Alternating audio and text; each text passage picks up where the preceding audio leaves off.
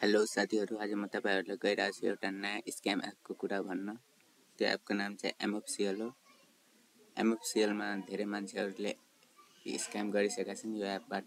यो एपबाट धेरै मान्छेहरूले दुई दुई हजार गरेर डिपोजिट गरेका छन् तर अब विड्रल गर्दा स्क्याम हुन्छ त्यसैले यो एपमा चाहिँ इन्भेस्ट नगर्नु होला।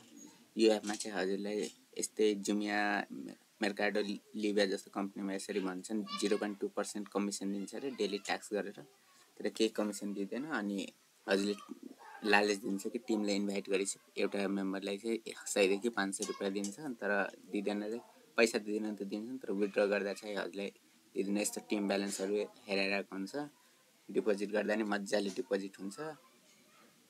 यस्तो डिपोजिटमा गएर यसरी हेर्दाखेरि Nepal on online payment bank USD crypto money trading लिन्छ डिपोजिट लिन्छ अनि के भन्नु अनलाइन पेमेन्टहरू गर्न त मिल्छन् तर विड्रो गर्दा हजुरको पैसा आउँदैन। विड्रो गरेपछि यस्तै भन्छ जस्तै मैले हजार बिस गरेको छु यसमा आउँदैन। म फिक्स ढुक्क छु कि यसमा आउँदैन। त्यसले हजुरले यसमा इन्भेस्टमेन्ट नगर्नु होला धेरैजनाको पैसा आइरहेको छैन। टेलिग्राममा उनीहरूले मेसेज गर्दा उनीहरूको म्यासेज ब्लक या ग्रुपबाट रिमुभ गरिदिरहेको छ। यिनीहरूको टेलिग्राममा नि धेरै ठुलो ग्याङ छ म हेराइदिइरहेको छु। के छैन? टेलिग्राममा धेरै ठुलो ग्रुप छ है। यही सत्ताइस सय मेम्बर भइसक्यो सत्ताइस सय मेम्बरलाई चाहिँ स्क्याम गरिसकेको छ जेनी भन्ने छ। जेनी भन्ने यसमा एडमिन छन् परवेश भन्ने छन्। यो एउटा एडमिन भइन् क्रिस्टिनी जेसिका भइन् सबै खैरेहरू छन् दल्ला एजेन्टहरू यिनीहरू पैसा स्क्याम गर्छन्।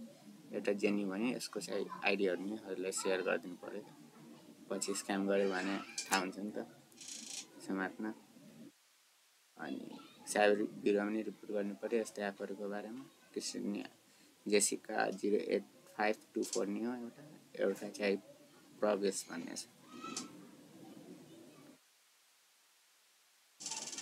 तिनजना मिलेरै स्क्याम गरिरहेका छन् एपमा। सो यसमा इन्भेस्ट नगर्नु होला।